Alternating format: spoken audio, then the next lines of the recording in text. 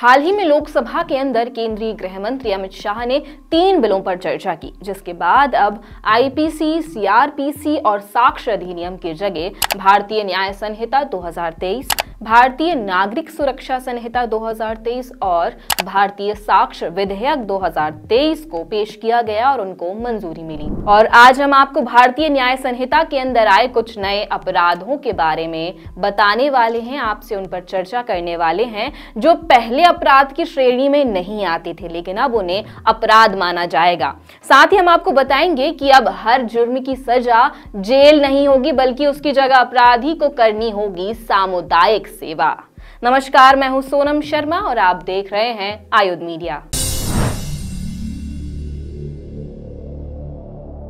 लोकसभा में आईपीसी की धारा पर अब भारतीय न्याय संहिता 2023 के बिल को पास किया गया। बता दें कि इस बिल में कुल 511 खंड थे, जो कि अब तीन सौ अट्ठावन हो गए हैं। इस खंड में 41 अपराधों में जेल की अवधि को बढ़ाया गया है 42 अपराधों को में जुर्माना बढ़ा दिया गया है 25 मामलों में अनिवार्य न्यूनतम सजा कर दी गई है और 19 धाराओं को निरस्त कर दिया गया है।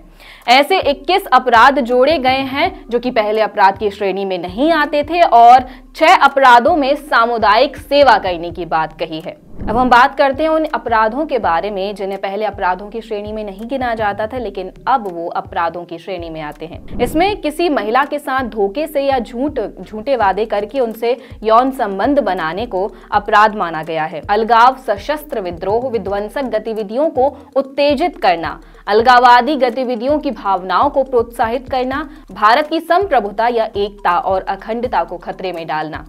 संगठित अपराध में अपहरण, जबरन वसूली कॉन्ट्रैक्ट हत्या, ज़मीन पर कब्जा, वित्तीय घोटाले और अपराध सिंडिकेट की ओर से किए गए साइबर अपराध जैसे सभी चीज़ों को अब अपराध की श्रेणी में गिना जाएगा।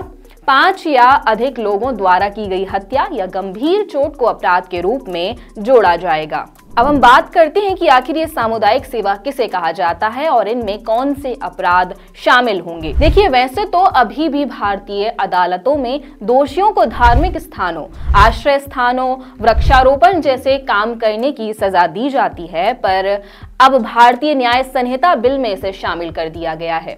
ये सजा अक्सर छोटे अपराधों पर दी जाती है, जैसे मानहानि गैर कानूनी रूप से कोई कारोबार करना, पाँच हज़ार रुपए से कम की अगर कोई चोरी करता है उसे और कानूनी शक्ति के अनुपालन से रोकना, आत्महत्या के प्रयास करना और सार्वजनिक रूप से नशा करने जैसे सभी अपराध इसमें शामिल रहेंगे। बता दें कि भारत के सिवा ये न्याय प्रणाली अमेरिका, ब्रिटेन, स्वीडन और अन्य विकसित देशों में भी फॉलो की जाती है और इस प्रणाली के कई फ़ायदे भी हैं। इससे अपराधी को तो सबक मिलता ही है, साथ ही जेल में कैदियों की संख्या कम होती है।